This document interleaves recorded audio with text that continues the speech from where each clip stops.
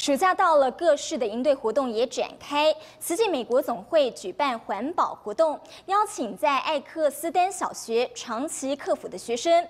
课程分成三大主轴：减量、回收、再利用。看起来呢，好像大家在玩游戏，但其实具有启发教育。来到慈济美国总会，他们是艾克斯丹小学慈济教育团队长期提供客服的学生，校外教学学资源回收再利用。瞧，正在浇花的小朋友拿的是回收的水桶，连玩接球游戏，这球也是用回收纸做成。Recycling paper. I learned how to use water. We use 72 bottles to make it out of a blanket to make a blanket with it. If I reuse my materials, and these are my cereal cereal boxes, I can turn them into other things and get more use out of them. 回收的广告纸在孩子们的巧思下变成了项链。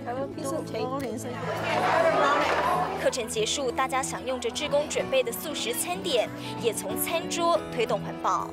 大爱新闻，这是美志工蔡婉珍、高明哲，美国报道。